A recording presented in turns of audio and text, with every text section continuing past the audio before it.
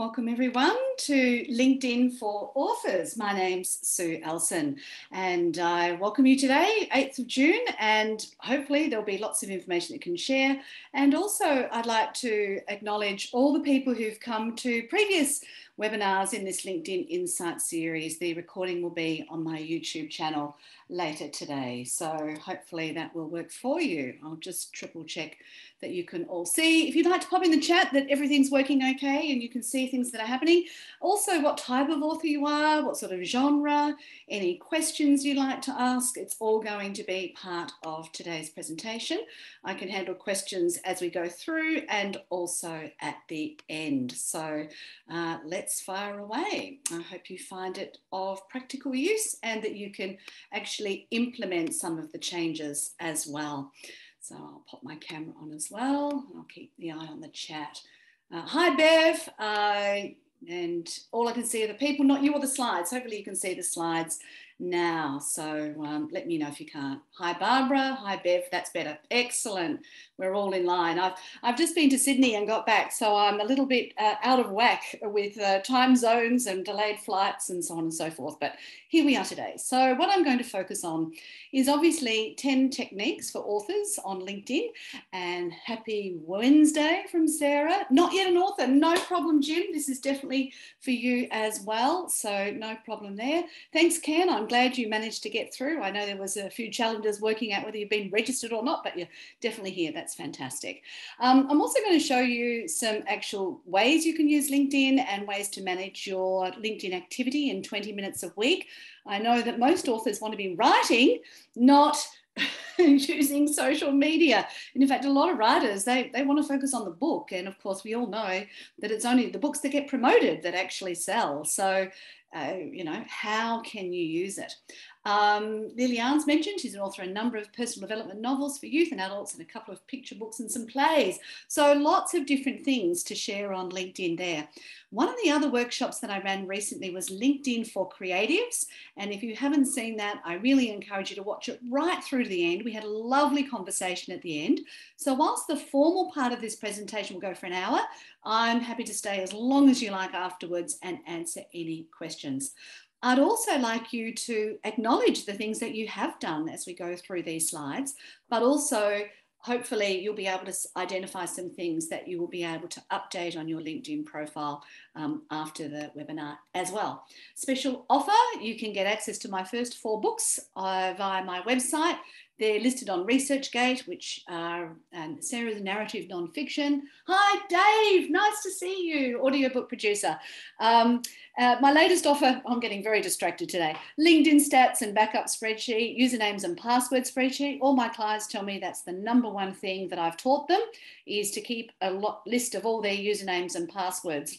Um, it, it's tremendously helpful if you're going to outsource any activities and you've got somebody else that you would like to do uh, some work with. So yeah, that's all available just for turning up. There's the link, sueellson.com slash latest dash offer.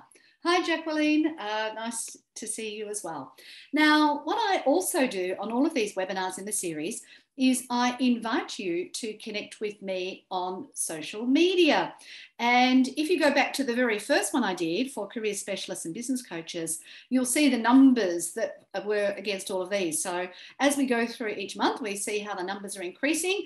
Obviously, I've got a bit of work to do on Instagram and YouTube, uh, but LinkedIn, as you can obviously see by the numbers there, is my favorite. You can subscribe to my LinkedIn newsletter so that you get a notification when it comes in. Don't clog up your inbox. But if you prefer the old fashioned email, it's the same content and you can subscribe to that as well. Every newsletter includes a um, piece of information on LinkedIn, some new feature. I'm so thrilled at the number of new features that LinkedIn is constantly adding. So, quick, fast facts about me. My career started at Westpac. Uh, the first bank in Australia, and I started there six days after my last year 12 exam. Worked there for 11 years in lots of different roles. Moved from Adelaide to Melbourne, and haven't really had a real job since. My first three books were published in 2016, three 80,000 word books I wrote in eight months mind you, that was the writing time. It wasn't the thinking time that went into those books. And I'm sure you all know, uh, you know, that obviously the difference between writing and thinking is a huge difference. And of course, there's lots of techniques you can use to help you write. For anybody who's not comfortable with a keyboard, like I did learn how to type, I'd like to remind you voice to text is amazing. And voice to text really works well on your phone. And the reason it works so well on your phone is phones are designed for voice. So I've actually found voice to text works much better on my phone than on my computer or laptop. And so I definitely encourage you to consider getting, you know, perhaps the first draft out voice to text if you if you don't want to get bogged down with the actual process of writing. I also find that when I'm, when I'm writing my poems, I actually prefer to handwrite them rather than type them up. I seem to think better with my mind. So, you know, do whatever works for you. Yasser is a fantasy writer. Wow, we get a lovely variety of people in here. That's terrific. So, anyway, I'm a member of a number of professional associations the Melbourne Press Club since 2008, Career Development Association of Australia since 2015, and the others after that. And I have three websites uh, two social enterprises, Newcomers Network and Camberwell Network, and then my books are on 120 Ways Publishing. So for me, I chose to be what I call independently published. I don't use the word self published because there's a bit of a you know, it's not so nice to be known as a self published author. But thank the Lord for Ewan Mitchell, my author advisor, who has shown me what to do, how to do it. And I thoroughly recommend if you want some guidance on getting your book to print, that you book some time with Ewan. He will help direct you with the steps if you like to manage most of that process yourself. Just as a little heads up, I plan to write at least 10 books before I classify myself as an author. Now, we all know there's stories of people who've written one book and it's been a bestseller, but I just love writing and I actually believe my writing's got better. But the funniest part about writing is you go back and look at your first book and you think, my goodness, did I write that good on the first book? And so, you, although I can see the transformation, I can also see what I did well in the first one. And the first book I wrote was 120 Ways to Achieve Your Purpose with LinkedIn. And because it was something I knew so much about, it was very easy for me to sort of aggregate that information and put it together. So don't start off with the most difficult project, you know, please um, consider doing one of the easy ones first. And also, if you haven't actually published a book yet, I really encourage you to start a blog or a website or publish your content on LinkedIn or on uh, Medium or other platforms and see if you can get a bit of an audience for your writing. Because in the past, I've interviewed a lot of authors and they all say that they had to get an audience before they wrote their book. So, yeah, just keep these things in mind.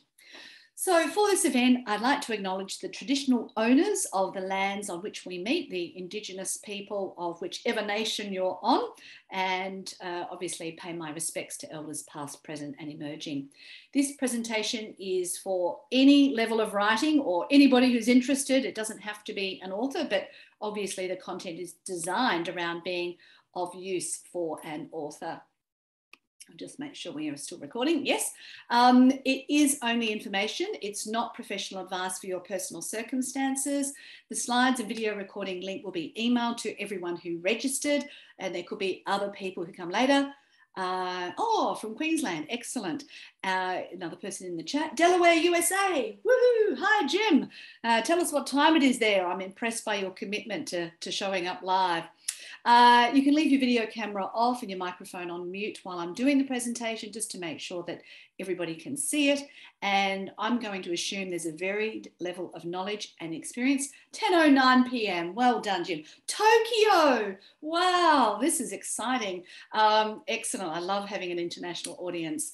And uh, as I said, please add questions in the chat. You can learn a lot more about me on my website, sueellson.com.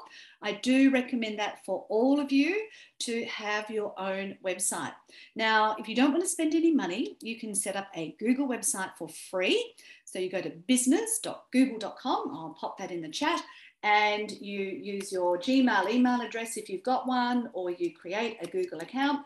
And after you've created that Google business profile, which again can be in your own name, um, on the left hand side of the menu, you will be able to create a free website and that will get you going. So there's no reason not to have a website. You can get started immediately. Um, I will be asking you what's been most helpful to you at the end. That feedback is really useful for me. And I'll also be recommending that you find a way to say thank you. On my LinkedIn for Creatives event, I had five people write me a Google review and one person write me a LinkedIn recommendation. I was so excited. So if there's something that's been of value, um, there will be a link at the end and I invite you to write a review. So as I've said, the definition of an author for this particular event is you can be a student, you can be a graduate, you could be thinking about writing, you could have started writing, you may have something you want to write, you may be self-published or independently published, you can have a website or a blog or some other platform that you're writing on. Now that I've got 100 followers on medium.com, I'm earning money for my writing the whole 27 cents this month. It's not a huge amount of money, but you just got to start somewhere. Uh, it's also for people who've had books that have been traditionally published, because we all know the publisher's job is to get the book out there. It's not necessarily to do all of the marketing. So uh, you as an author need to be able to have some idea of how to present yourself online. It's for people with books, ebooks, audiobooks, papers, journal articles, magazines, whatever it is you've had published Google loves content that is by someone. So journalists are always looking for what's called bylines, which just means that they wrote the article by Sue Ellson. So what I've done with all of the content that I write, whichever publication I put it on, is I always write by Sue Ellson. And the good news is once you have an ISBN publication, so it could be a 10 page ebook and you'll have to buy an ISBN number but once you've done that, you have the potential to have an author profile on Google. And Google will put your content above somebody who does not have an author profile. So if you need some more help on that, please message me later and I will give you some further instructions. This workshop is also suitable for publishers, advisors, agents, professional association members, you name it. And there's an article that if you Google LinkedIn for authors, this article at the bottom of this screen will come up in search results and it goes through a few tips different to what I'm discussing today, uh, but definitely worth you checking out. So why even bother with LinkedIn? That's, you know, the operative question. Well, you will be Googled. So if somebody likes your work, they're going to Google you and decide, well, publisher will have to make sure you've got an identity before they'll consider taking on your book. Also, a literary agent might want to know a little bit more about you, not just your Facebook page that was created five years ago to look at photos of your friends and family. I mean, that's not really a, an online identity.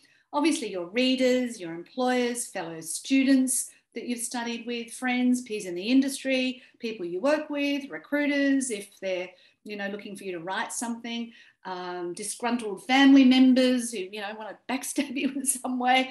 Oh, the best part of putting your story online is it's your story, and then you don't have to repeat it. Neighbors, basically anybody you meet, even people at parties will Google you. And the benefit of having a LinkedIn profile where you've changed the URL, and I'll show you how to do that, is you will come up in search results. So that's why you want to have this filled in. My own website, sueellson.com. I published that in 2012. And just this week, I Googled myself when I was in Sydney, and my LinkedIn profile still came up before my own website. And I update my website frequently. I'm active on social media. I have links on other sites, but still, LinkedIn comes up trumps in search before my own website. So, you know, another reason why you would consider having a LinkedIn profile. Uh, there's the, the link again to creating your own website on business.google.com. And there's now 830 million members worldwide and over 17 million. I have to update this part of my slides. So, yes, there's even more people. The other interesting thing is the level of engagement. So, that's people who log on to LinkedIn and check out what's happening, has increased by over 50% in the last two years.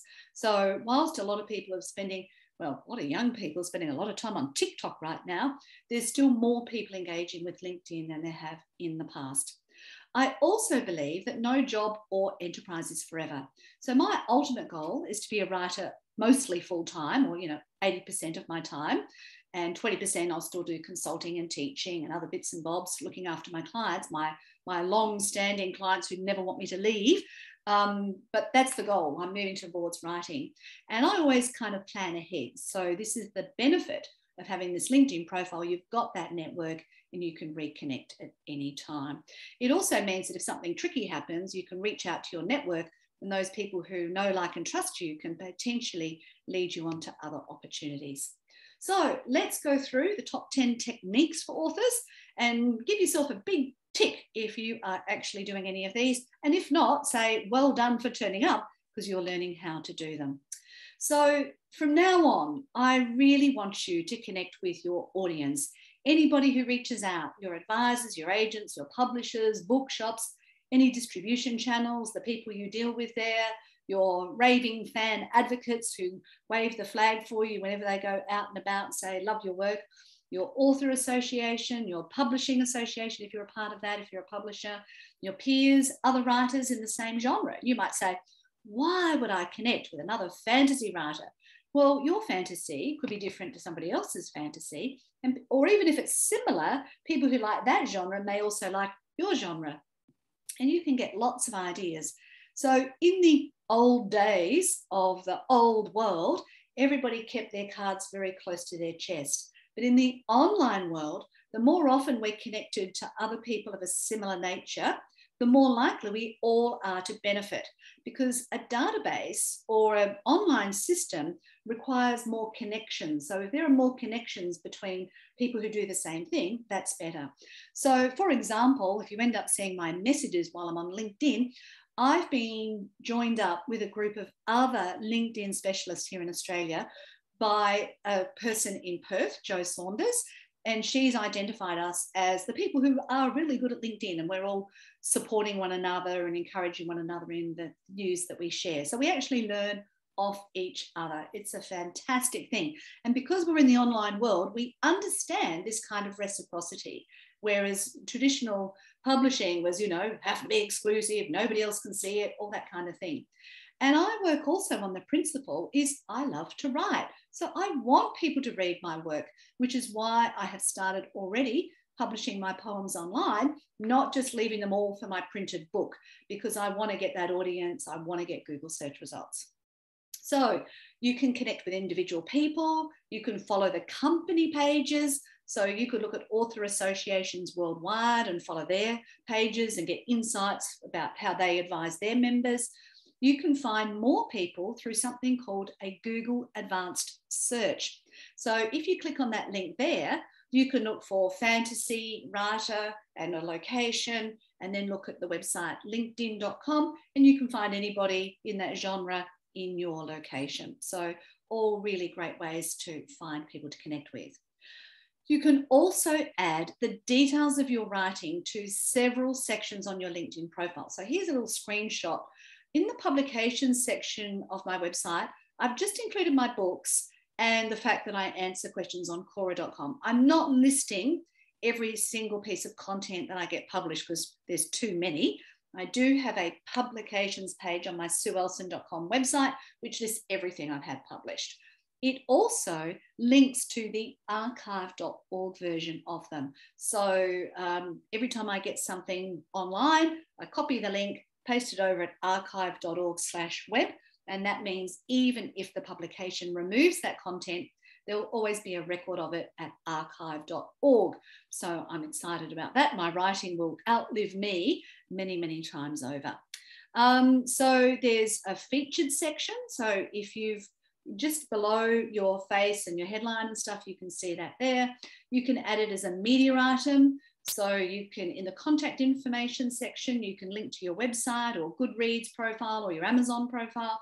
You can enter if you've entered any writing competitions and you've become either a winner or a finalist, you could pop that in your honours and awards section on LinkedIn.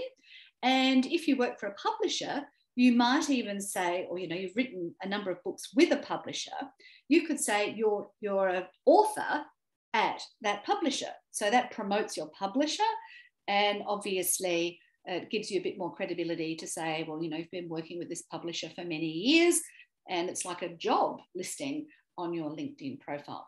This link here is also giving you instructions on how to tell Google where you are online. So I really encourage you to consider um, following the instructions there so that when people Google your name, all your publications can pop up.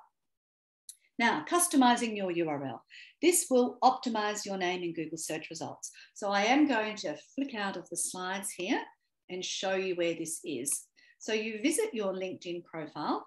And if you haven't done this, the LinkedIn URL up the top of your screen will be something like first name dash last name dash numbers and letters. So that's just the standard one that LinkedIn has given you. But the goal is to personalize it. And you can see here I've got mine, just my name or one word. So you go over here to edit public profiling URL. And if you've got a really common name, that may not be available. So no problem. Uh, what you can do is you can put a dash. So we click on this pen here and you can put a dash in there. And if that's not available, you can perhaps put a number on the end, or you might even want to put the word author. Uh, you know, it's up to you. But you do need to personalize it and then save it. That can then be put on your email signature. It can be put on your business card. It can be put on your resume. It can be put in your book, you know, wherever you like.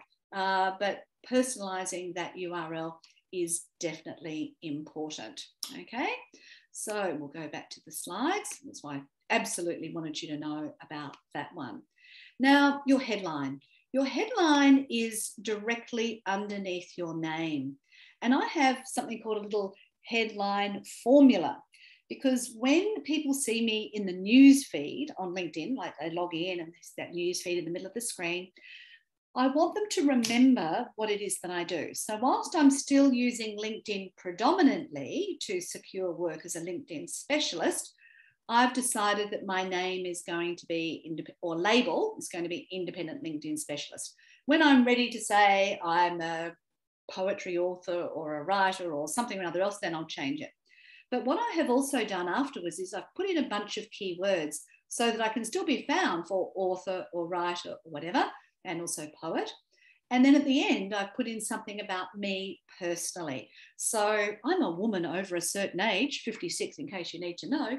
And the reason I put in that I'm a dancer is, and my dancing is very bad, I might add, but it's because I'm still active. I don't want people to think that I'm sitting on the couch watching television. Uh, I actually want people to know I'm alive and with it and keeping myself up to date by including one emoji, not too many, because then I look a little bit like a try-hard.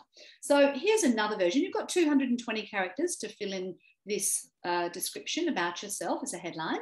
So you could be an aspiring romantic fiction author. If you're not one yet, you can say aspiring.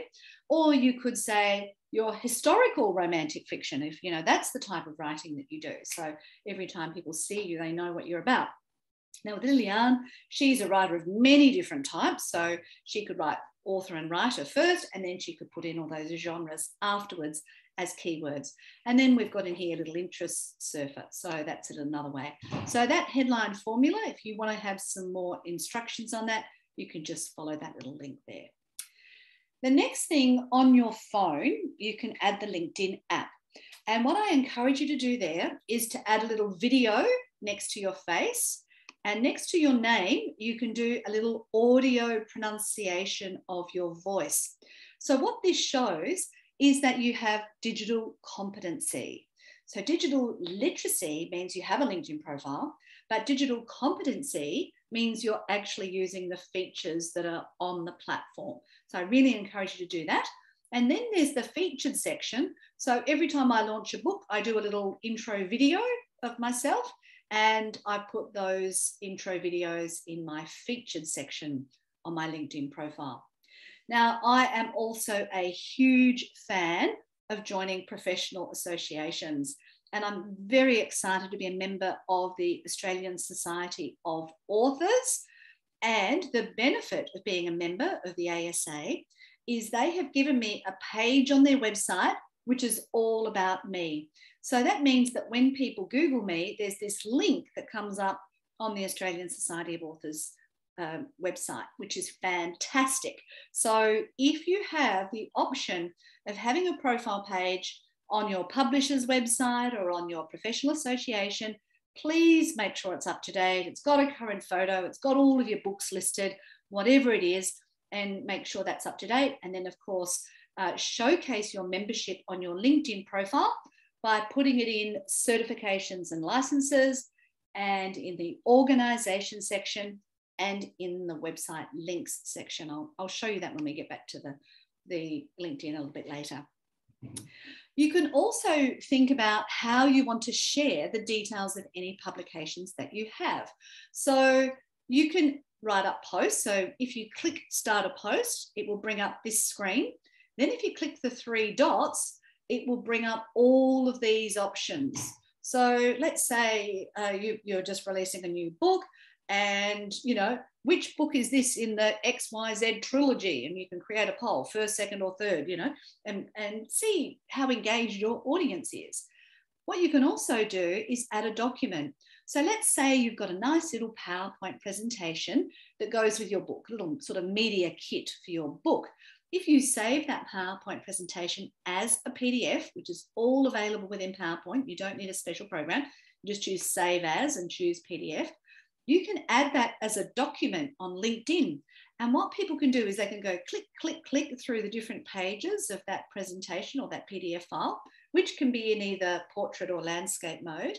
And people can interact with your little, you know, booklet, I suppose, of what your book's about. So they can also download it, they can see it large on their screen. It gives them a lot more information. The Australian Publishers Association, uh, for what they do when they're releasing books, is they actually create a little animation. So that would be like adding a video, and you might want to put an animation out on your social media. But this link here talks about how to engage, curate, and create content for LinkedIn if you're a very busy person. So don't think that you always have to be producing content. The social media platforms love it when you engage with other people's stuff. And Dave's very good at that. He's often engaging with his author's content and sharing it, which means curating. So he gets his author's content and he shares it through his profile. So it's curating. And then obviously your own content that you can create. And as I said, please put your questions in the chat. I'm happy to answer those at any stage. Now, what I've also done is I've created a company page for my name. And you might say, but Sue, you're not a company. But the benefit of doing this is, as you can see, I'm only one employee there, but I've got 515 followers. And what I also love about this is that when I publish content under my name, it gets lost in the LinkedIn newsfeed and only lasts there a couple of days. But when I put it on my company page, it stays there today, tomorrow, next week, next month, you know, it's visible for at least 12 months. So that's much better value for me. So every time I post as a person, I also post on my Sue Ellson company page, and there's a little link there on how to maximize your company profile.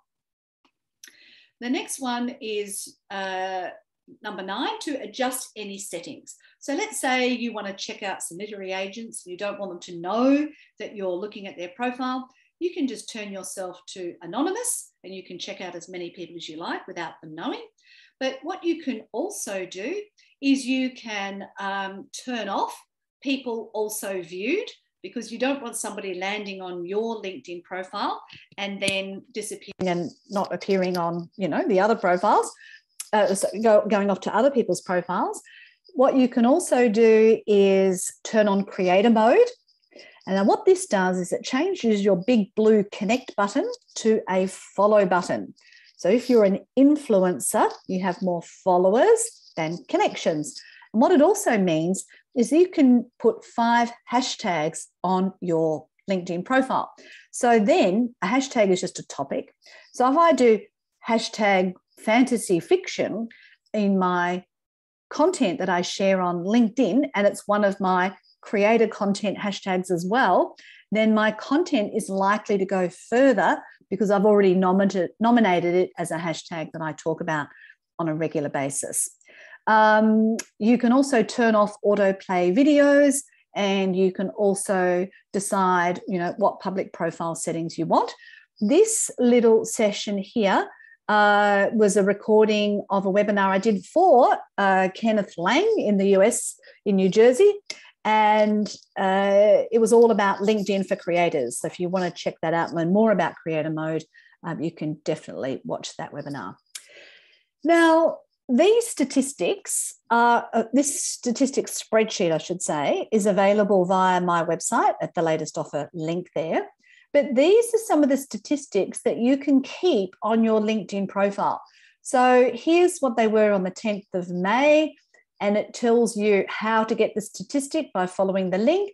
And then the goal is for you to just write down these numbers at different dates. So the next date I do it, you know, it might be the 10th of July and then I can get all my numbers and compare it. And this gives me a little bit of a clue as to what is working for me. So that's another option as well. So now we're going to look at 10 ways to use LinkedIn for authors. As I said before, LinkedIn doesn't just want you to post, post, post, buy my book, buy my writing, you know, check me out online. It wants you to listen as well. So when you hover over the like button, you'll see that there's these different types of reactions you can make. I like the clapping one. I think it's nicer than the, the thumbs up. This one means that you're offering support to the person.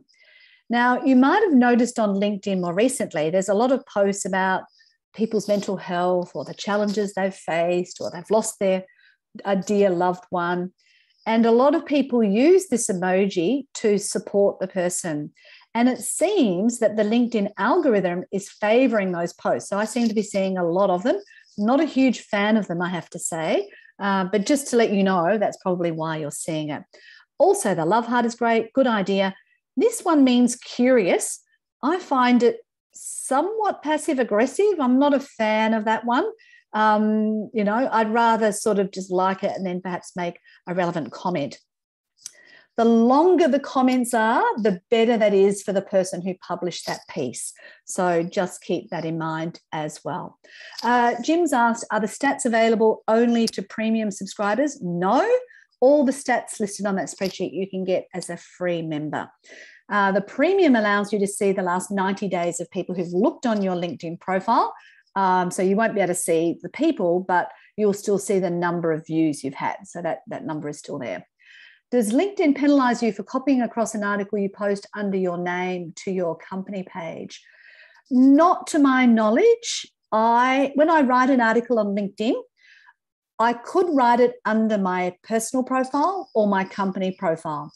I did put one out under my company profile and it absolutely tanked. It got nowhere. So I've decided to keep publishing under my personal profile but what I notice is when I write up the little post that goes out with the article I've just written, it doesn't go very well. So at the same time I publish the article, you know, just through the normal process, I actually create a new post on LinkedIn and I I send out details of my article. That post goes uh, very well. Oh, good to hear you've had the same experience, Jacqueline. Um, so yeah, we, we're sharing the, the same thing. It's amazing how often Jim's got the same. Yeah. So it is worth making a separate post every time you write an article. Now, moz.com, uh, which is all about search engine optimization, they have said that LinkedIn is one of the top 10 places in the world to publish your content.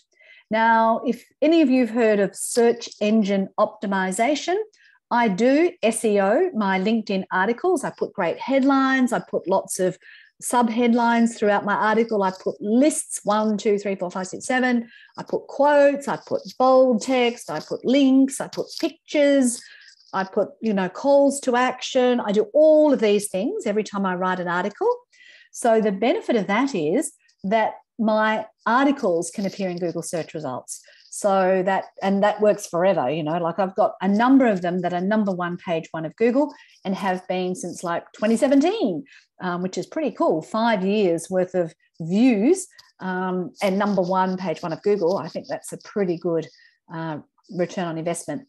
Now, obviously, Google does not like you to have duplicate content. So if you are pub- if you are writing a blog on your website and then you wanted to share it as an article on LinkedIn, I would actually suggest that you make it about 30% different because that way the piece on your website and the LinkedIn article could both be indexed in Google search results.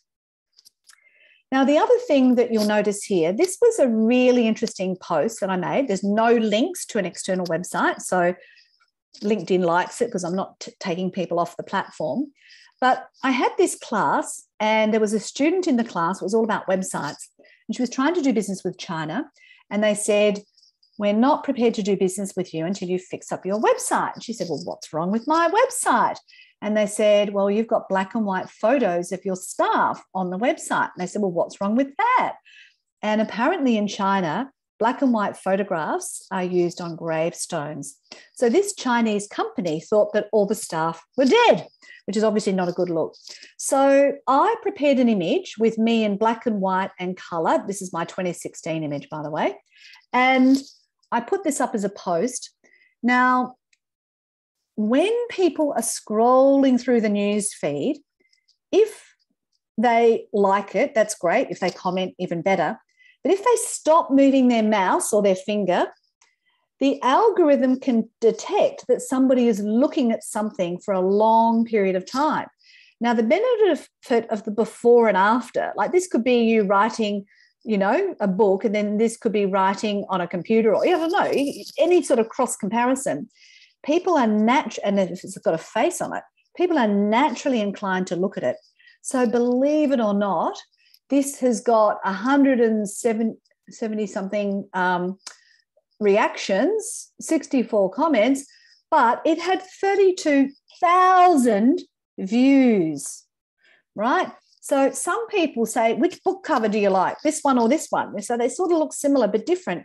So these types of posts can actually be really good for authors to get people to sort of pause as they're scrolling through and to get people to engage with your content.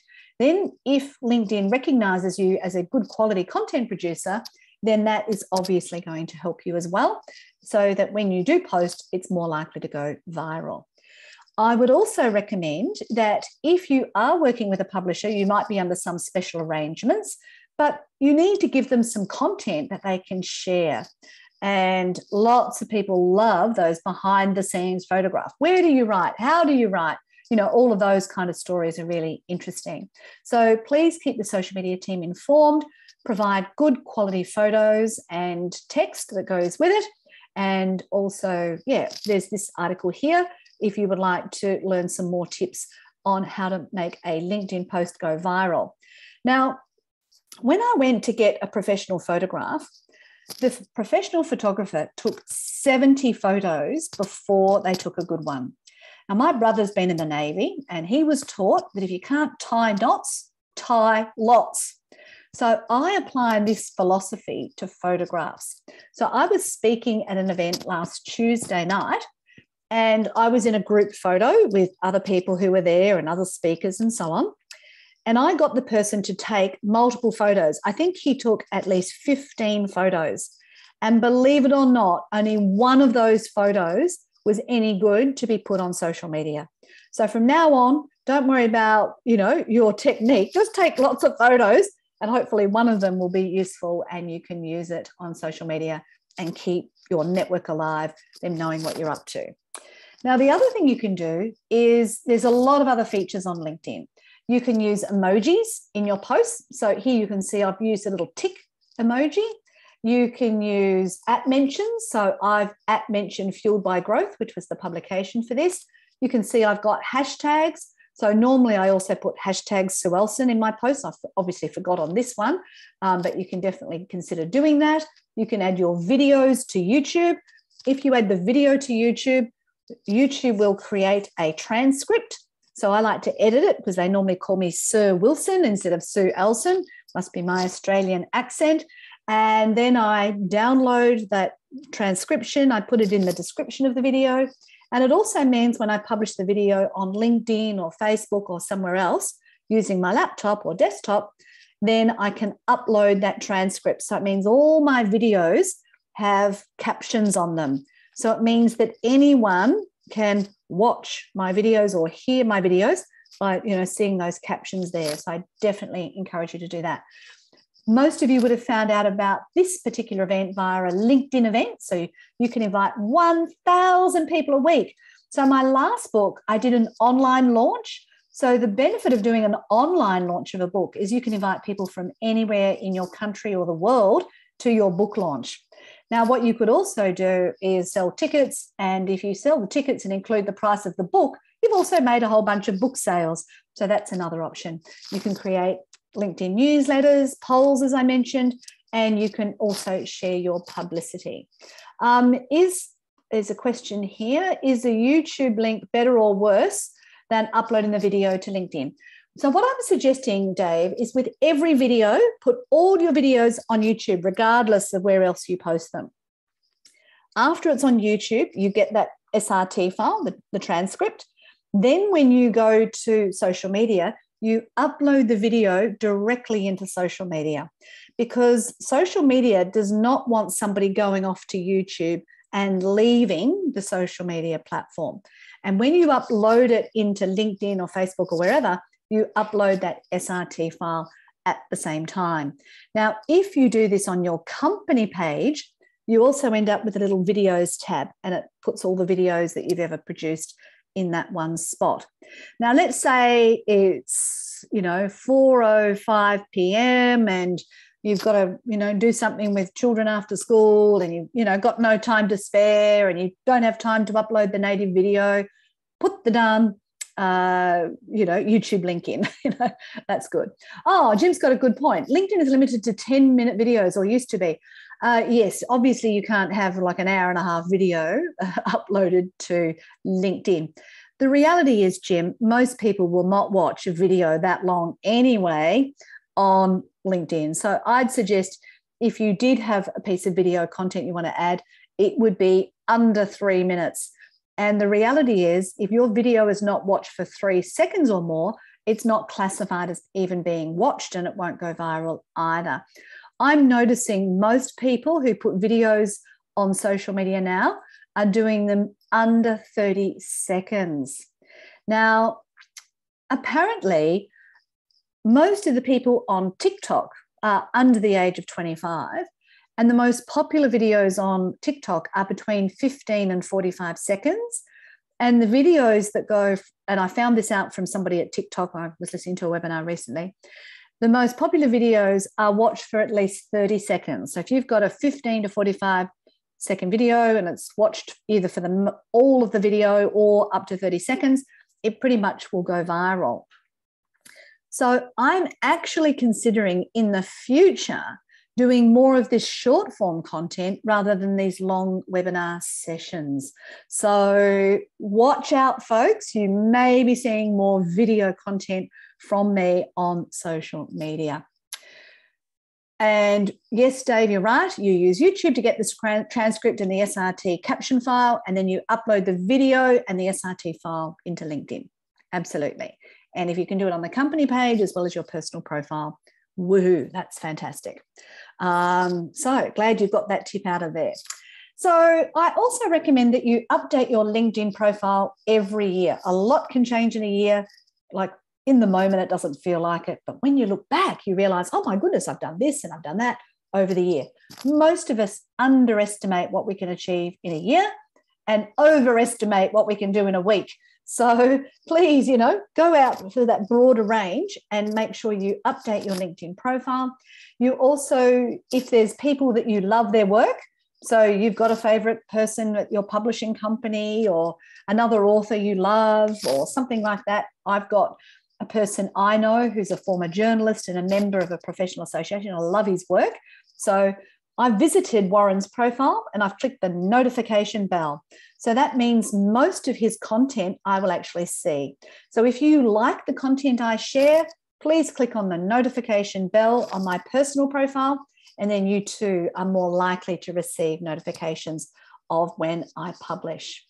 You can also go and try and add connections. So on your mobile phone, the LinkedIn app, what you can do is you can press inside the search box and then you can press scan and you can obviously, when you're out and about in person, is you can connect with people just using your phone. So it means you don't have to carry a business card, means you don't have to type their number into your device, you don't have to swap email addresses. And if their email address changes, it doesn't matter because you can still message them directly on LinkedIn. So from now on, everyone you meet personally or professionally, I encourage you to connect with them on LinkedIn please let me know. Yes, you're getting value out of this webinar. Just pop it in the chat if you're finding it helpful. Now, if you can't remember that sort of quick instruction I gave you, these are the steps. So you open the LinkedIn app, you press in the search box up the top here, you press the little dots, and then you press um, uh, scan to make sure you've got the camera enabled. And you turn on the settings to make sure it's turned on. This is for the iPhone, but it would be similar in an Android then you've got your little code there. And when you when somebody scans the code, there'll either be a blue follow or connect button, a message, and the three dots. Oh, thank you, Sam. Love your work. That's terrific. Thank you. Um, so you don't press the follow button, you press the three dots. And then what you can do is you can personalize the invite. So if we're both at a function and we can say, nice to meet you, at the XYZ event, let's connect, and you send off the invitation. So, what that means is when they go back to their phone later or their laptop or desktop computer, they can say, Oh, that was Sue that I met at the event. And they'll say, Yep, I will connect. It also means, like I've been doing some work for the Australian Institute of Management over the last four days. So I say, Nice to meet you at AIM. That means I can search through all my messages for anybody I met at AIM and it means that I can track those people down. Also, if you go out to an event, like I suggest you try and meet at least three people, my two questions you should ask are How did you find out about this event? And my second question is What keeps you busy during the day? Not what do you do, where do you live, what car do you drive, where did you buy those shoes from? I mean, they're all stupid questions if you ask me. But how did you find out about the event? What keeps you busy during the day? Oh, that sounds fantastic. Would you like to connect on LinkedIn? And uh, then the following day, you can look on your My Network tab on LinkedIn, and then you can reconnect with all of those people that you met the next day. The biggest complaint I hear is people getting invites to connect without any messages. Write those messages. Yes, Jim, that's very true. A lot of people say, if somebody doesn't write me a personal message, then I will not connect with them. I'm not like that.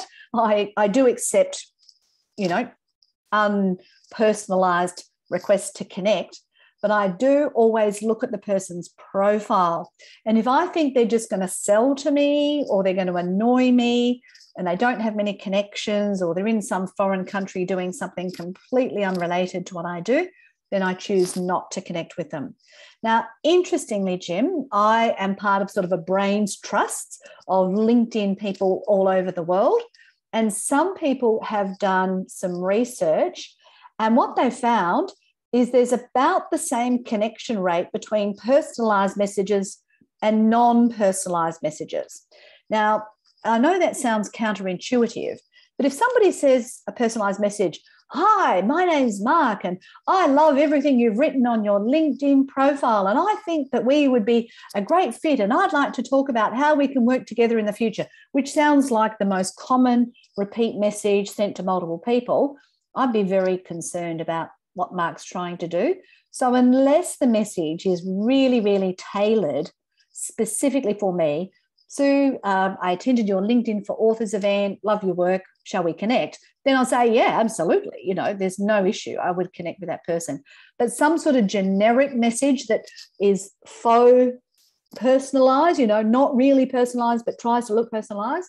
Um, yeah, have a find find a way to connect. Absolutely. Look at my profile. Like, don't message me and say, what's your email address? As an example, because my email address is written on my LinkedIn profiles. There's no reason for them to even ask me that question. So, yeah, um, thank you for your engagement there, Jim. Another way to use LinkedIn is to set some goals. Who do you want to connect with? Who do you want to reach?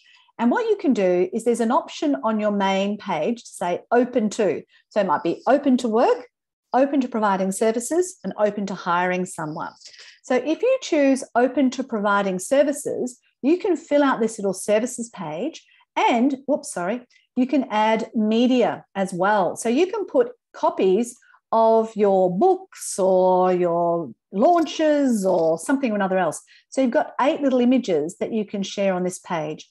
Now, the beauty of this is if somebody goes searching on LinkedIn for people who offer writing and you've got a services page, then voila, you could appear in search results. If you are part of a publisher, they may have some social media guidelines that you have to abide by. So please make sure you're aware of their social media policy.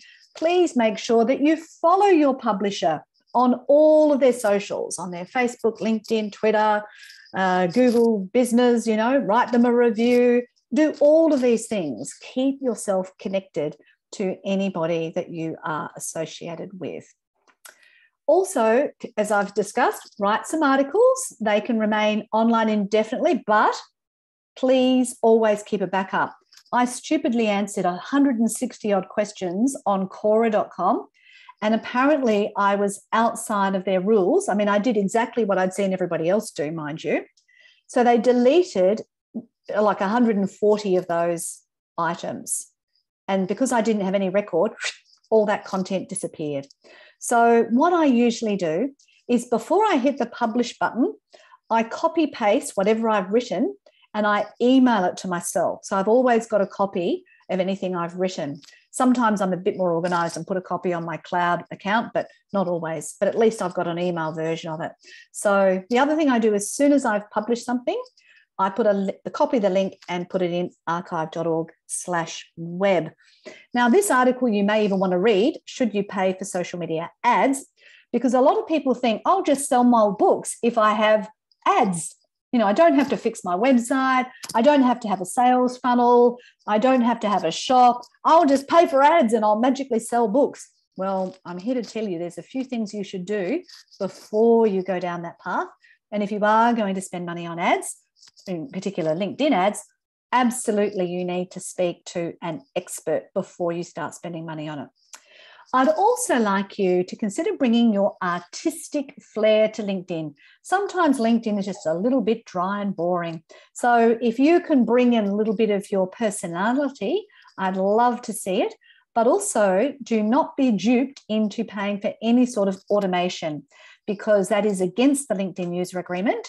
And you really do need to make sure that you follow the LinkedIn user agreement. There's a section in there called do's and don'ts. It does. It's not very long, so make sure you at least read section eight, um, so that you know what you are or are not allowed to do on LinkedIn.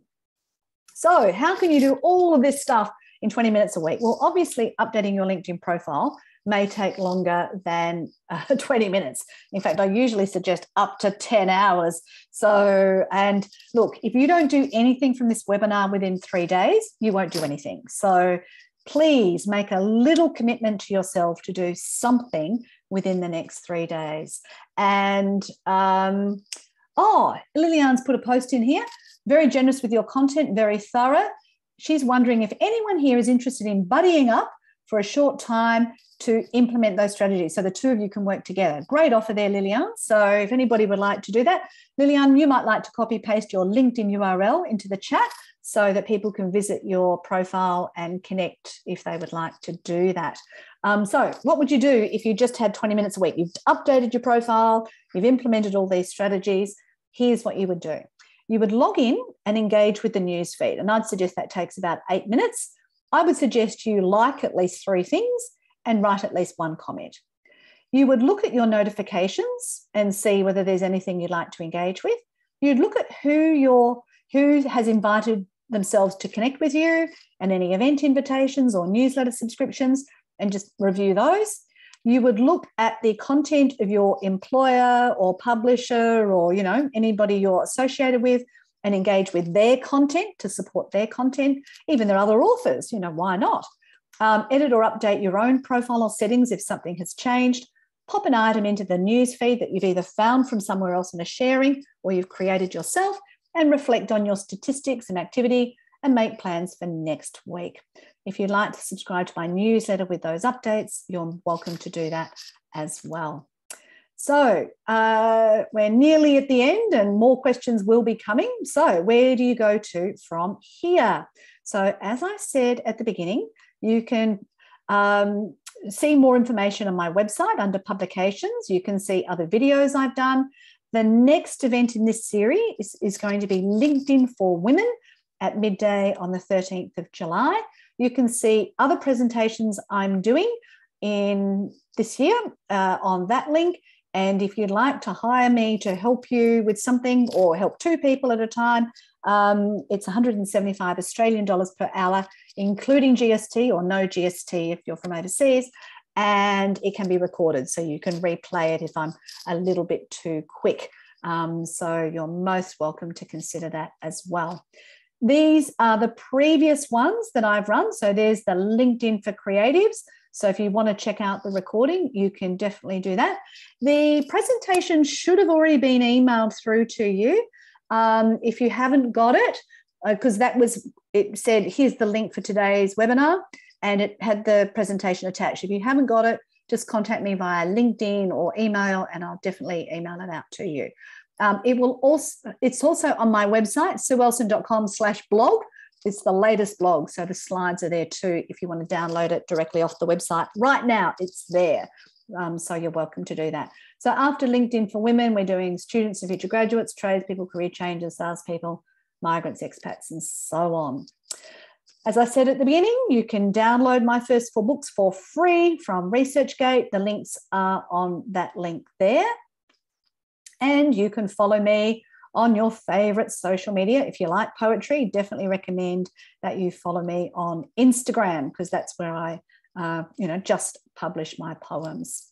So, how can you say thank you? Well, if you're connected with me, you can write a recommendation, or if you've got a Gmail email address or a Google account, you can literally click on that link and pop in a review. So, as I said, LinkedIn for Creatives, I've got five reviews. I was so excited there's currently 108 listed there. So if you've got a moment, or you can just scan that little QR code right now from your screen and you can quickly pop in a review, mention what was helpful to you. That would be wonderful. And also, often when you're a writer or an artist or you're creative of some sort, everybody wants you to do stuff for free. How annoying is it? Can you just do this for me? It won't take you long, but I can't write or whatever. So the next time somebody does that, I invite you to get them to say, I'm happy to help, but before I help you, I want you to read this article. Sorry, we don't have a budget for that. So they want you to do something for nothing, but they don't have a budget. Well, believe it or not, there are many things that people can offer you in exchange for your time or capability.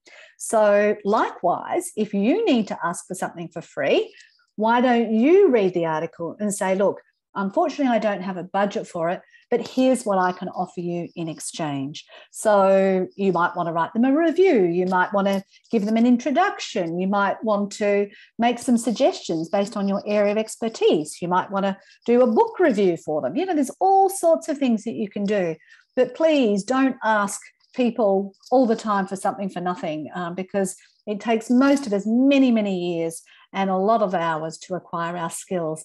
And so, yeah, I really like to encourage people to say thank you and also to always offer something in exchange. So, we've got lots of lovely comments in the chat about being practical and useful. How do I deal with troll reviews? Okay, well, I'm reasonably fortunate in that I've only had one negative review, and it was somebody who said my 120 ways to achieve your purpose with LinkedIn was too technical and I should have pictures. And I'm thinking, it's 120 ways to achieve your purpose. It's not LinkedIn for dummies, but even still, I chose to respond in a positive manner. Thank you for your feedback. Uh, I chose with this book to focus on strategies, and the book is really written for people who already have a LinkedIn profile or understanding it. So you can respond politely, you can ignore them. So if you want to check out some of the content, that where I've been quoted on the Daily Mail website. So if you go to Daily Mail and you look for Sue Ellson, you'll see the troll comments that I've received there. Is Sue's photograph pre or post lobotomy? if I look like Sue Ellson, can I get a job too? Um, you know, I think she looks like Matt Lucas or something or another, like horrid, horrid, horrid things. So I asked the journalist who quoted me what I should do in response to these, you know, trolls. And they said, ignore it. And what I tell myself is somebody who's trolling me, they're not published, they're not quoted, they're not helping somebody, they're not providing entertainment, they're just trolling. So I actually feel sorry for those people because the only way they can get published is they hate on someone else. So it really depends on the nature of the person, you know, or the publication as to how much trolling you might get. So the other strategy is is this Google review strategy. So I have asked hundreds and hundreds of students over many many years to write me reviews and I've got 108. But the benefit of having 108 good ones is that when I get a bad one on Google, I've got 108 good ones. Now, not, I'm not going to appeal to everyone all the time. So I've got to develop a thick skin on that. But it's a lot easier if I've got good ones out there already. Uh, had a competitor leave a one star Google review of my book. Took me three months to get Google to remove it. The competitor then just left it again under a new name. Well, that's sour grapes, isn't it? I'm really sorry to hear that. I, as I said, try and ignore these people and focus on what you can do. Um, I had one client who had a disgruntled client who wrote them a bad review, which was unjustified. And because I reported it, because I had already written a review for my client, it had a swear word in it, and Google were very good at removing it quickly. But most of the time, it's extremely difficult to get Google reviews removed.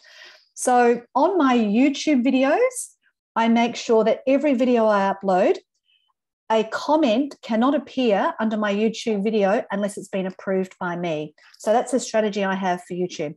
Some people on Facebook will also turn off their reviews because the only people who write reviews for like a government body are why do you charge so much for what you offer you know so that's pointless having reviews there but unfortunately you cannot turn off google reviews so my risk management strategy is get good reviews so that when the, the idiot competitor or the troll or anybody else writes bad stuff, you can say, you know, sorry, we don't have any record of you purchasing the book or, you know, um, whatever. It's a strategy because Google gives primacy to their own reviews, so it comes up first. Yes. Now, the other thing is because I've written reviews, Google invited to me to be a local guide, right? So now every time I sign in and write a Google review, I earn points particularly if I add photographs at the same time. So some of my photos, would you believe, have had over 2 million views on Google. And because I'm a local guide, my reviews appear at the top of the list. So when you Google my clients, my reviews are often the first review that people see. And then they say, oh, who is this Sue Ellson? And because Google sees that I write reviews as well as receive reviews, that helps my reviews go up to the top of the list as well. So if you read a good book, find the author, write them a review. You know, like it's a lonely job being a writer and we don't always get a lot of feedback. So if you if something good happens or you like something, don't just write a review when something terrible happens, write a review when something good happens. It is really, really worthwhile. So that's the end of the slides. Um, so now what I'll do is I'll just open to general questions. Feel free to turn on your camera if you want more of an engaging experience.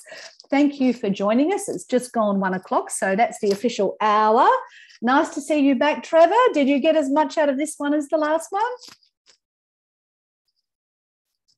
Mean, yeah, I, I loved it. Um, you're very generous. I, I, see that comment from someone else, and uh, uh, yeah, I, I, felt like my hand's been held yet again. I'll probably Good. need it again. Thank you. You're most welcome, and thank you for turning up again. You know, a lot of people say they'll come back and then they don't. And, you know, it's so nice to meet people who are, uh, you know, true to their word. So thank you for, for turning up. That's terrific. Um, Ken said, could you please recap your view on what to post on your LinkedIn page versus your LinkedIn company page and when to repost from one to the other? Okay, Ken, my usual logic is publish first and usually publish on my website. Then my goal is to publish on my personal uh, profile, on LinkedIn profile, and on my company profile. I, so I posted on both. Now, where there may have been a little bit of confusion today is when you write an article on LinkedIn. So an article stays there, it doesn't just go in the news feed. Now, when you publish an article, you can publish it under your name or you can publish it under your company page. But when the article is published, LinkedIn says, Would you like to write a post? And you write that post, but it doesn't go anywhere. Nobody ends up seeing it. So when I write the article on LinkedIn, I also do a new post to both my personal profile and my company page, which says, Here's an article I've just written on LinkedIn. I hope that makes sense. Yeah. And anybody else like to unmute and say what's been most helpful to them from today as well? Uh, MA Demers, I appreciate this. I have to leave to attend a family and go through the slides and implementing your recommendations. Yes, see if you can do it within three days because then it will happen. Um, and feel free to reconnect with Liliane as well if you'd like to do that. Yes. Yeah, it was so you were great. And I haven't done what you told me last time. Um, That's all right. Will, made a great reminder, and the slides are going to be fantastic to yes. go through when I've got a chance to, you know. I'm sorry I missed the beginning. I rushed in, and anyway, but it'll be on YouTube later today. All good, yeah. And thank you for turning up. You know, like some people think, oh well, I didn't do it and I shouldn't go, but no, you still turned up. So give yourself a pat on the no, back. because I want to. I did a couple of the things you said. No, because I wanted to do it. And you said to me, you know, just do 10 minutes at a time. I've just had a silly life, but I'm but this has sort of reinvigorated me. That's what's Good. lovely. Excellent. Glad to hear it. Well done. Anybody? Oh, Liliane. So I just wanted to share a, a, an experience I've just had where someone contacted me. They they sent me a beautiful, authentic message on LinkedIn saying that they had um, been they were looking at uh, for authentic coaches, yes. you know, and they perceived that I was an authentic coach. Yeah. And he had this, you, know, he was offering this um, opportunity where he was going to set up a, a system whereby he would find all the business, and you'd be his talent, you know, that you know his his coaches kind of thing. Yes. And um and so there was this great income potential and all the rest of it. Anyway, yep. so I had a meeting with him and you know, he sounded genuine and it sounded like there might be potential in it. But what ends up happening is in the very first conversation, he was saying, um, I'm not going to charge anyone for this, I don't think. And then in the next session, you know, the the, the dollars, incre- you know, what he was going to charge, the fee was going to charge for all of this. And then finally, I wrote back to him and said, "I'm not interested on on your um, the, yes, the terms you're offering. I'm, I'd propose these terms. Never heard from him again. So all that genuine authenticity and I care and I wanted this and I'm going to be we're going to be different coaches and you know all that just you know interesting. Yeah. So I just wanted to share because you know Thank you. And and the problem is um, something like LinkedIn is a bit of a we know we need to do it, but where do we start and who can we trust? And you know, a lot of people want to get you into uh, so the best business model is a retainer because that means every month you're going to get some sort of return. So that's why there's this software as a service because they don't just sell you once and it's a lifetime subscription. They sell you a monthly fee. So then they've got a regular income. But I believe the most honest and ethical approach is to pay by the hour because you know you've got the hour with that person and you know it's up to you whether you continue or not. So you don't have to sign up for the $3000 program. But interestingly my daughter was uh, looking at a specialist program. I won't say on what topic but somebody told her it would be i think it was $1500 plus the product that you had to purchase that went with you know this particular program. And she almost fell for it because it was like a one figure amount, right? So she knew up front it was going to be $1,500 plus the cost of the product. And I said to her, but if you just paid by the hour to somebody you already know who does that, you can get through a lot of sessions for the same price. But because people don't know how long is a piece of string, you know, they don't mm. do it. So I recommend if you're ever considering going to get advice from anyone, you check them out online, do all your due diligence, and then you book an hour with them and decide whether you know that was worth it and then you can make a, a, good decision on whether it's worth continuing or not. So I encourage people to pay that premium upfront rather than the free, you know, one hour session or whatever it is. And then you get signed up to some ridiculous price thing or ongoing commitment that you can't maintain, you know, after that. I got sucked into an $800, like it was really sneaky. It was an Australian and they said it was $500. But then when you booked it, it was 500 US dollars. So it ended up being like $800. And then I started watching the videos and they drove me nuts. So I spent $800 and I haven't done the course. So, yeah, we've got to be careful about how we do these things. So, look at the free stuff, get yourself a little bit of knowledge, do your due diligence, and then pay for an hour and go from there. Mm. Because I'm sure that there would have been quite a lot you would have got in an hour session if you just paid for that. Mm. I might not have explained it entirely clearly, but anyway, it, it, it doesn't matter. Your your comments are, are um, certainly valid for all yeah. sorts of. Related. Well, look, there's, there's plenty of people out there trying to rip people off, mm. and there's vanity publishers uh, I'm sure Dave could talk to that. You know, there's a lot of people, you pay $10,000 and you get 500 books, and then you've got to buy them at full price. And, you know, you're not really a published mm. author, you're, you're it's just vanity publishing. No. So, you know, there, there's plenty of things to watch out for. And I've listened to lots of those webinars. And that's, again, another reason why I chose to do um, independently published. So I didn't end up with those sorts of issues. Um, mm. Oh, Ken's put a coin in here. I did some of your LinkedIn on Creators recommendations. I'm going to do a bunch more from this program. Woohoo! Well done, Ken. And Sarah's already done a Google review. Thank you. I will make sure I respond to that today as well. Dave, you look like you're champing at the bit to have a comment there. Oh well, not not champing, Sue, but, but thank you again for a lovely another lovely presentation. The um, just talking to around Lillian, the conversation you and Lillian were having that I I I always find um, it's a little bit like that comment from Tom Tom Cruise. Um, can't remember which film it was now, but basically show me that show me the money. So mm. I think what that actually means is that um, a valid question I think to ask anybody who's offering you something which is going to generate this massive stream of income for you is to say to them that's absolutely fine with me. I want I want to experience this for three months so that I know that I'm going to have that revenue that you're going to generate for me in order that I'll be able to afford to pay the charges you're going to be paying me in each of those three months. Mm. That was essentially what I put to him. Oh, that, really? Not that exactly, but a, something like that was what I put to him. I said, if you're so Along confident in your system, yes. let me have a trial for three months, you know, and then and I've, then if or whatever it was that I said, but it was very similar, you know and he just I've never had, he didn't ever reply. Yeah, uh, I th- and and that's the great way to do it. I think you know mm. you, you, can't sort of hmm. um, hide under a rock and never respond to any of these ideas. Mm. But to the extent that you're tempted by them or you want to investigate them, then you know it's it's probably better to have gone through the process, ask those hard questions, saying, well, well, like you know, if you if you're if I have to pay you a dollar for every ten dollars that I earn, then I'm happy to earn those ten dollars from you and give you that dollar back.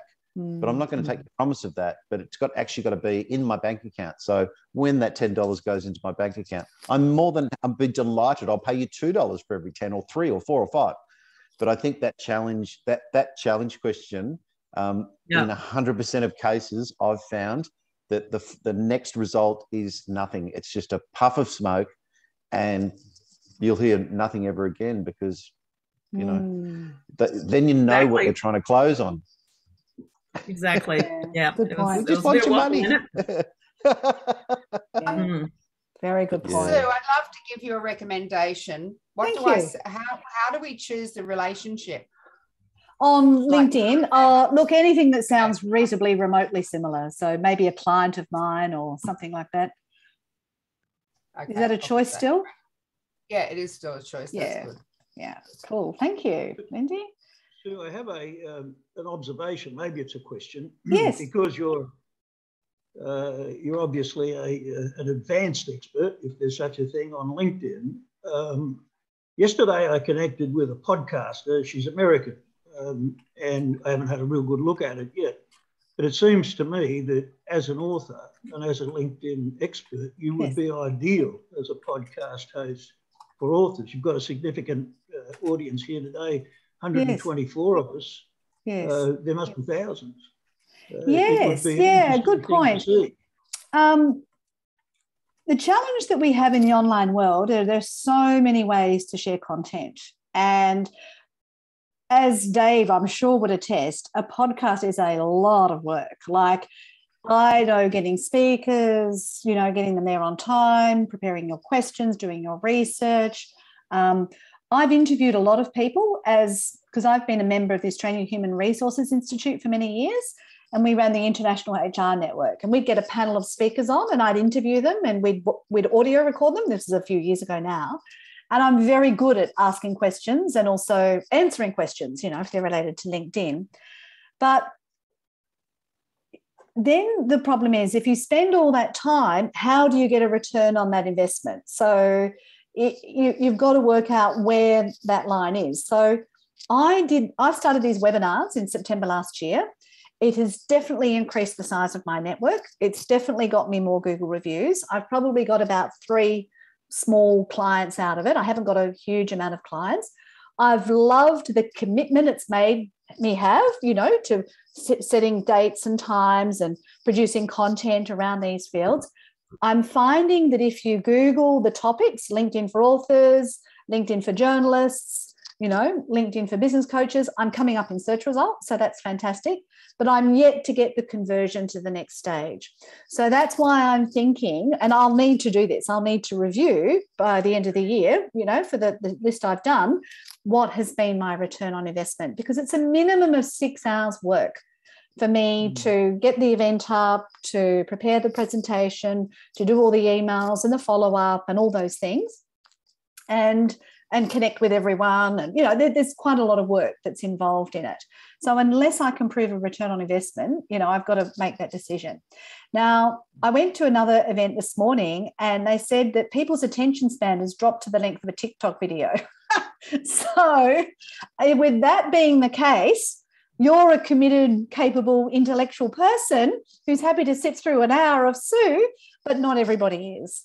And, you mm. know, people want sort of the 15 second grab now, and they want it in video format. And in video, they also want it on their phone. So it's got to be in portrait mode.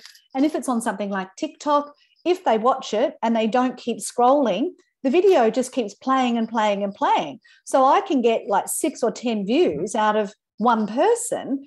Whereas if I just did a video on YouTube in landscape, I'd only get one view because then it would, you know, predict which video the person might want to watch next. So there's all these choices available to us. Now, what I can say, LinkedIn for podcasters, oh, okay. yeah, that would be fun, wouldn't it? Um, so I guess what we we've got these choices as to how we share our content, and and I follow different people on YouTube, and I'm even noticing that YouTubers are changing over to Shorts, which is the TikTok version of YouTube videos. So again, a short on YouTube is filmed this way instead of this way, and it goes for a shorter period of time. And if you're watching Shorts on YouTube, same thing as TikTok. They, they play over and over and over again until you move on to the next one. So, because that's the trending style of content at the moment, uh, if I adopt that approach with what I'm doing and I lead people to my books or I lead people to a LinkedIn course, then that can potentially work for me. But as an ex banker, I am risk averse and I am not prepared to try something until I can prove that it works. Now, I can prove that the webinar does X, Y, and Z for me, and I'm building my network and I'm building relationships, and people come back. You know, that's all fabulous. And I love the relationship component. I love the fact I get to see people on a regular basis. You know, I love all of those things. Um, but I was talking with a copywriter this morning about, you know, making it into a LinkedIn course. And I believe in spreading risk. So I wouldn't rely on TikTok to be my savior, right? I still have relationships, I still go to events, I run networks, you know, I produce long form content, I do a variety of things. And another thing I'm thinking about doing is um, providing a specialist type of service to professional associations because a lot of professional associations are not good at getting their members to engage on social media. So I'm thinking of offering a product to them. So that could then be my retainer revenue where the professional association only pays for the number of people who go through it and and so on. So i've got other ideas because i've got to keep thinking about where are the trends going and how do i adapt and grow according to you know what i can realistically maintain as an individual because i prefer to use technology based solutions rather than labor based solutions because I don't want to have, you know, a cast of 30 staff and overheads and all that kind of thing. So I'm always looking for the tech to do it. So I've always got my eyes and ears open thinking about is there a better way to achieve a result? Yeah. Thank you, Liliane. Yeah. Does that make sense? Yeah. Yeah. certainly. There's only one of you, unfortunately. There is only one of me. Yeah, that's right. And there's only so many hours in the day. So, yeah. And look, I love doing stuff for free. I've done stuff for free my entire working career. Um, and I often enjoy it more than the paid stuff. But at the end of the day, you know, I do need to be paid for the work I do. So, yeah. Yeah. Thank you, sir. You're most Great- welcome, Trevor. Session. You're welcome. Thank you very much indeed. Thank you, Lindy. You're mu- Great to see you again. You too. Bye. Thanks, Dave. Thanks so much, Sue. Fantastic. Really good tips on the video on LinkedIn too, as well. Thank you very much for that. And I'll follow your your next little experiment with video with interest. So yeah, one, or two, I- one or two minutes of Sue, bit of background story, bit of fly on the wall stuff. I mean, doesn't take I- long to produce, and you've got the audio and the video. So yeah, I, I, I'll follow your follow your experiment with interest. yeah. Look, I'm I'm nervous about it, Dave, because Mm. um, I'm just a nice girl from Adelaide, and I don't like to brag and boast. And I feel like a lot of video comes across as self promotion. And also, Yeah. if the video becomes popular, I could very Mm. quickly appear to be a megalomaniac. And I'm very conscious of that.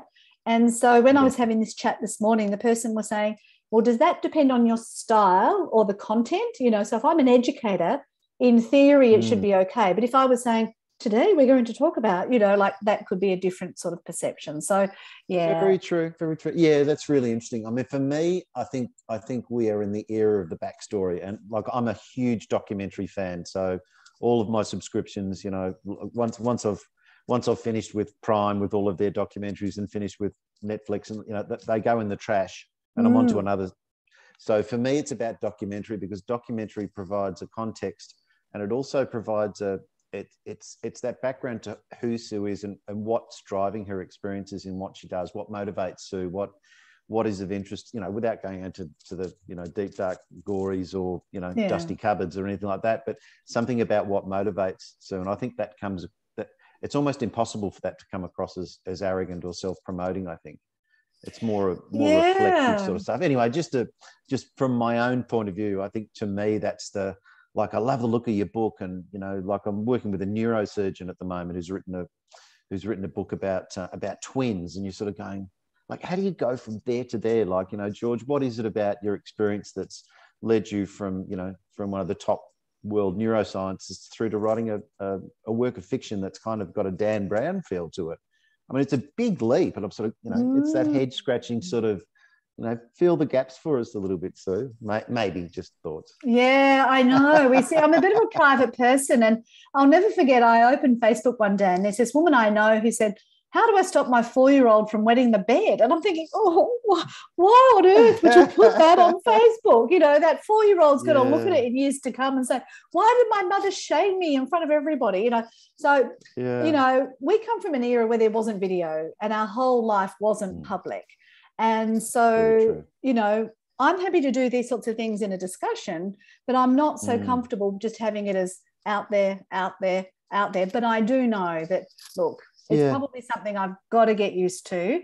And if I if I maintain my integrity, then people should be able to sense that. But yeah, it's oh, a bit of a Well, challenge. parting parting thought parting thought is that sometimes that works really well during interviews so that sort of um, that truth telling or, or story enablement can sometimes work really well so you record the interview as audio and video and then we basically take the interviewer out and so you're in Oh. a much more natural frame of mind you're you're looking across you know you're looking across the camera Yeah. rather than you know doing that terrible rabbit in the headlights sort of stuff about now I've got to remember this exactly and you know recite it precisely as I'd written it down. So mm. give me a hoy if you hmm. need a hand with that because I'd be happy to be your your the um, interviewer. Yeah, like yeah, yeah. Well, interestingly, I was on a podcast this week uh, with Robert Cugno, and we were talking about some LinkedIn stuff, and he, he did a really good job, I have to say. So, uh, mm. yes, it's much easier for me to answer questions than it is for me to just say, by the way, here we My are today word. with.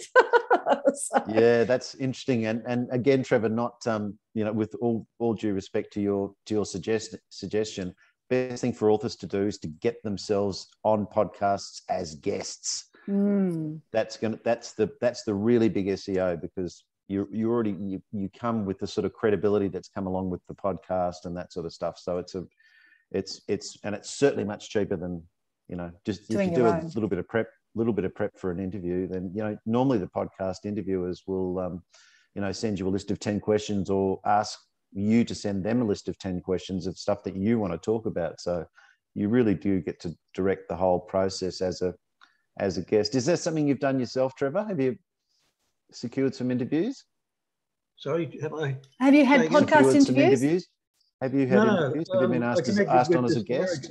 Yesterday, she runs them, and that prompted my suggestion that uh, Sue would be a great host for podcasting. Would, you know? Yeah, yeah. So just bouncing the idea back back to you that, that mm. that's something in your because uh, you're an author, Trevor, aren't you?